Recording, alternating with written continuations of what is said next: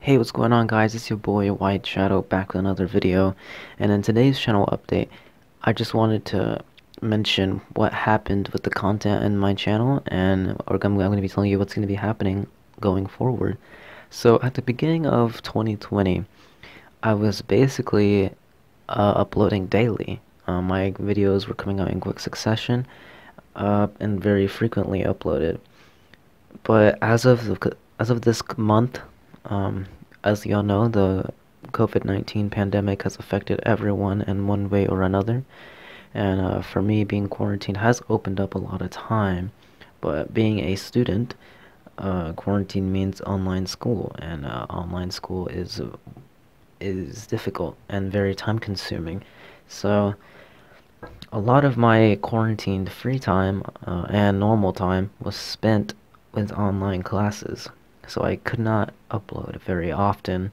Uh, as you can see from my channel, just the my upload schedule just went sl ever so slightly slowing down.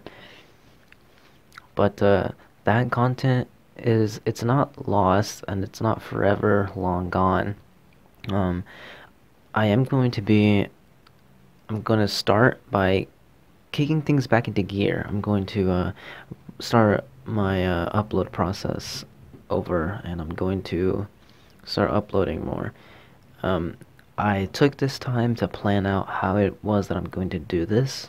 So, um, the series that you've all known on my channel are still continuing. So, Overwatch Moments, um, Mortal Kombat 11 Sicko Mode, which a lot of people have said if I had completely forgotten. No, I have not forgotten. Um, as I said, I'm gonna try to kick my channel back into gear. Uh, it's just for the moment, I'm just going to ask for a little bit of patience because it is going to take a bit of time. I've already planned that out. All I need to do is execute. Uh, but for the future of the channel, I also have a lot of things planned, specifically for the Scrim games. Um, I've already undergone a lot of uh, planning for that, and you will see that on the channel in the future. But again, I just wanted to remind you all that I have not forgotten. I'm going to kick things back into gear. It's going to take a bit. All I ask is a little bit of patience.